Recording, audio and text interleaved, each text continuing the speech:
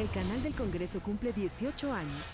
La tarea de difundir al público, de que las sesiones sean públicas y hacerlas públicas no significa solamente abrirlas aquí en las instalaciones, sino hacerlas públicas significa difundirlas como lo hace bien el canal del Congreso. Entonces yo creo que este es el reto y es el que la tarea misma que se ha estado cumpliendo, mantener la publicidad de las sesiones y del trabajo legislativo.